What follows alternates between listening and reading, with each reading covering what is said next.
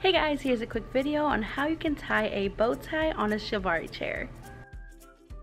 Hold the edge of the sash and wrap the sash around the chair until you have just the tail.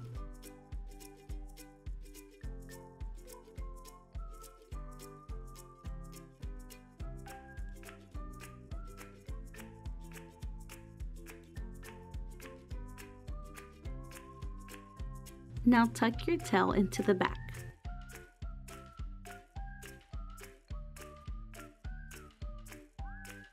Next, gather the sash in the middle and then add your sash clip. Finish by fluffing your bow and you're done.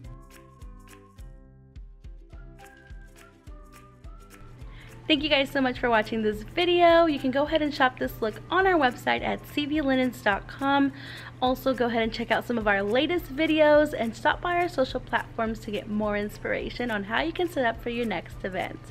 Thank you guys again so much. We'll see you in the next one.